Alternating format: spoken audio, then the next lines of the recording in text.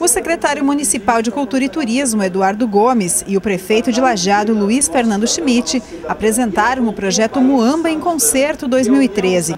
Aprovado pelo Ministério da Cultura, o projeto pretende colocar o Carnaval de Lajeado no calendário de eventos do Estado e transformar a Muamba em fórum de atividades garantir sustentabilidade do negócio cultural. Um grande evento neste domingo, com a presença de escolas de samba de Lajado, apresentações e a presença de um dos símbolos do carnaval do país, Neguinho da Beija-Flor, dá o início às atividades a partir das 5 e meia da tarde no Parque dos Dique. Também será lançado o programa permanente de apoio às comunidades das escolas de samba e a entrega de kits de bateria. Uma entrega simbólica já foi realizada a um dos carnavalescos mais tradicionais do município, seu Manuel representa, Rita, um trabalho inédito né, em Lajado e eu acho que no Vale do Taquari também, sobre reestruturação do carnaval, dessa arte né, que gera, além de muita cultura, emprego e renda. Então a gente está muito feliz de poder começar o ano antes mesmo do nosso evento, que é a Muamba, né, essa entrega né, de instrumentos para que eles possam, a partir de agora já, com as suas baterias shows, uh, ensaiarem, montarem o carnaval então para 2014 com toda a estrutura necessária para que seja um dos melhores carnavais desse estado.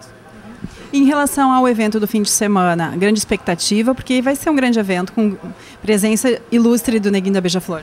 A expectativa, eh, aí falando né, pessoalmente, assim, eh, particularmente, né, é, esse momento de encontro entre o Neguinho da Beija-Flor, com toda a sua experiência, a bateria toda, né, com os carnavalescos de Lajado. Né? Então a gente vai fazer um encontro, uma capacitação já antes mesmo da, da apresentação. E esse eu acho que é um, a expectativa é enorme para que isso, né? porque esse é o nosso grande objetivo, que eles aprendam como se vive da arte. Né?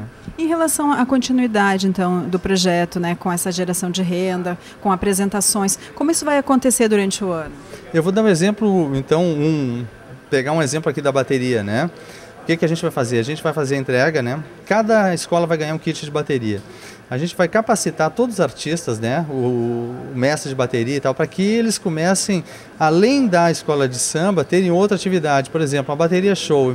A festa de 15 anos, né, feira do agronegócio e tal, a gente vai levar, vai oferecer, a própria secretaria vai oferecê-los né, para os eventos.